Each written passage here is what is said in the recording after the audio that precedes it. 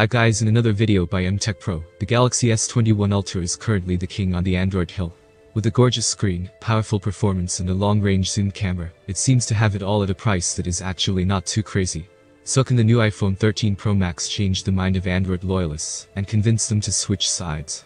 This is shaping up to be one of the most epic battles of flagship smartphones.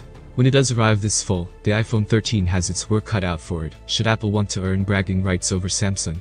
We have the latest iPhone rumors, but one with a bigger battery that might just change the game, as well as rumors about new features, like an in-screen Touch ID, that will help with unlocking the phone while wearing a mask and the usual serving of camera improvements. Samsung has been the leader in display quality in the past few years, and the iPhone actually uses a Samsung-made OLED display panel. So with the iPhone 13 Pro Max, Apple is playing a bit of a catch-up. It is bringing one of the most exciting new features that debuted on a Galaxy in 2020, and that was the 120Hz fast refresh rate. The screen size and resolution are expected to remain the same as last year. You will get a 6.7-inch OLED panel with a resolution of 1284x2778 pixels, compared to the same size screen, but at a slightly higher 1440p resolution on the Galaxy. On the design side, don't expect any major changes to the iPhone which will look mostly like its predecessor with flat sides, but possibly two new colors. A true black model, and then a darker bronze shade which may replace the gold one. And with a bigger battery inside, the 13 Pro Max might get even heavier and chunkier. For the camera, the iPhone 13 Pro Max might be a big upgrade when it comes with the same triple camera as on the previous model, and that compares to a more versatile 4 cameras setup on the Galaxy. Both phones have main and ultra-wide cameras, but while the iPhone only has a single zoom lens at 2.5x zoom, the Galaxy comes with two zoom lenses, one at 3x zoom and another one at 10x zoom, giving it far more range when zooming. Of course, while Apple is not changing the camera hardware in any major way, don't expect quite the same image quality as before.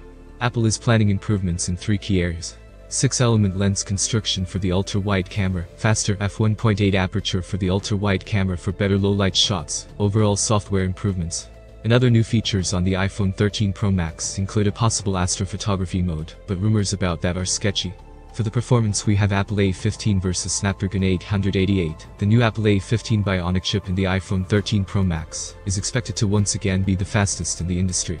The Galaxy comes equipped with the top-of-the-line Qualcomm Snapdragon 888 chip for the US model, while international S21 Ultra models come with a very slightly slower Samsung-made Exynos 2100 processor.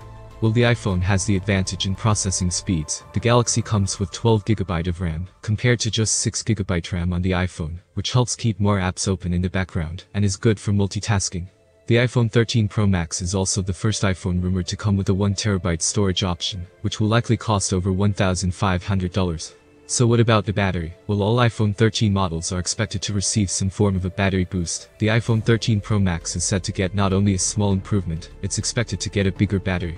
The exact battery capacity was revealed earlier. We'll get a 4352mAh battery on iPhone 13 Pro Max. That is massive upgrade.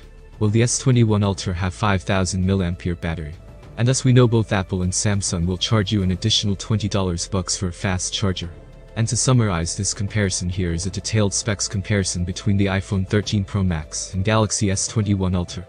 Thank you everybody for watching, see you in another video.